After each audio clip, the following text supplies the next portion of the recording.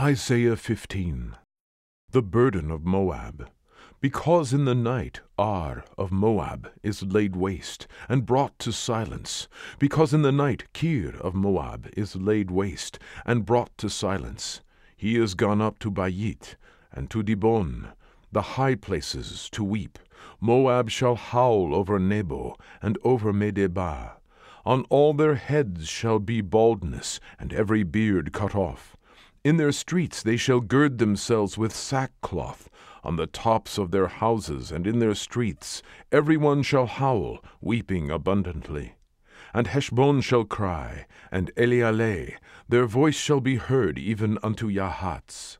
Therefore the armed soldier of Moab shall cry out, his life shall be grievous unto him.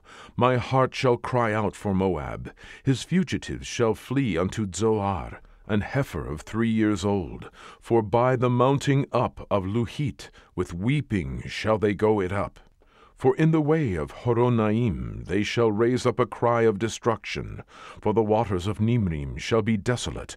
For the hay is withered away, the grass faileth, there is no green thing. Therefore the abundance they have gotten, and that which they have laid up, shall they carry away to the brook of the willows. For the cry is gone round about the borders of Moab, the howling thereof unto Eglaim, and the howling thereof into Beerelim.